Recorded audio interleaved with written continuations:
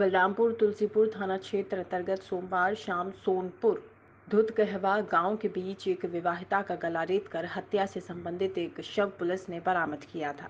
Police team क्षेत्राधिकारी तुलसीपुर राघवेंद्र प्रताप सिंह, वरिष्ठ उप निरीक्षक श्रवण चंद्र, थाना प्रभारी तुलसीपुर उप उप निरीक्षक आदित्य कुमार, महिला उप निरीक्षक शालिनी सिंह, कांस्टेबल अर्जुन कुमार तथा सर्विलांस एसओजी टीम ने जाँच करते हुए 24 घंटे के अंदर अभियुक्त गब्बर उर्फ़ दयाराम यादव 23 वर्ष पुत्र गंगाराम निवासी मनकोरा थाना तुलसीपुर को उसके घर से गिरफ़्तार कर लिया गया।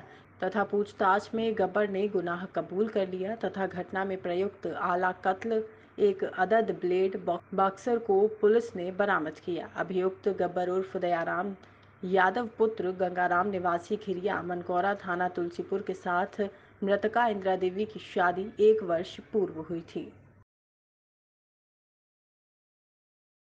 दिनांक 27 पाँच 2024 को थाना तुलसीपुर में पंजीकृत अपराध संख्या 135 बटे चौबीस आईपीसी सेक्शन 302 के संबंध में अवगत कराना है कि मृतका इंद्रावती पुत्री श्री ओम प्रकाश यादव निवासी सोनपुर धुतकावा एक हफ़्ते पहले अपने मायके आई हुई थी अपने ससुराल खिरिया मनकौरा से।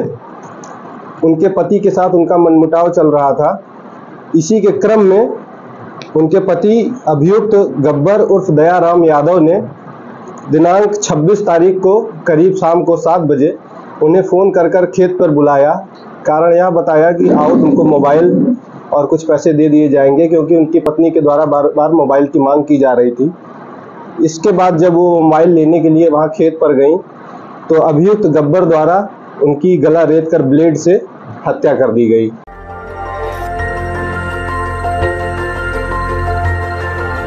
देखते रहिए डीबी भारती समाचार, नज़र हर खबर पर।